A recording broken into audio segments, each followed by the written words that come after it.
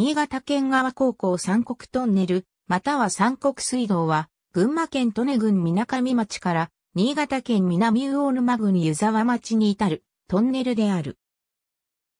国道17号が通過している。全長は1218メートル。三国峠のほぼ真下を通っており、高校付近の標高は、群馬県側が1083メートル、新潟県側が1076メートル。当トンネルを境に、群馬県側は、ブラインドカーブの連続する峠道で、新潟県側は、緩いカーブと急勾配が連続する線形になっている。付近には、猿ヶ京温泉や苗場スキー場がある。完成当時は全国3番目の長さ。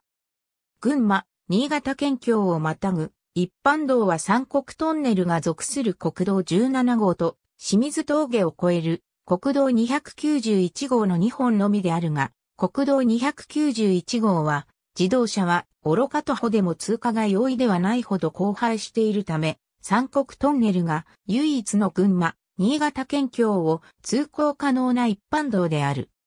群馬、新潟県境をつなぐ道路としては、この他に関越自動車道の関越トンネルがあるが、5km を超える長大トンネルのため危険物、積載車が通れず、三国トンネルは代替路としての役目も果たしている。トンネル内は片側一車線で群馬県側から新潟県側にかけて緩い下り勾配になっている。制限幅は2.5メートル、制限高は3.8メートルであり、大型自動車同士の離合が困難なほど狭い。車体寸法に関する保安基準の緩和を受けている車両は当トンネルの通行が不可能であり、関越トンネルが通行できない場合に代替路として使用できず、国道18号などで大幅に迂回が必要となる。また、歩行者や自転車の通行は制限されていないが、歩道は設置されていない。供用開始時には幅6メートルだったが、コンクリートの補修や内壁の内巻き工事などを施した結果、幅は5.5メートルとなった。湯沢側は雪の吹き込みや吹き溜まりを防ぐために、数十メートルの明かり巻きが設けられていて、ここに建設大臣、根本隆太郎の書として、三国水道建設省関東地方建設局昭和32年12月竣工の変額が掲げられている。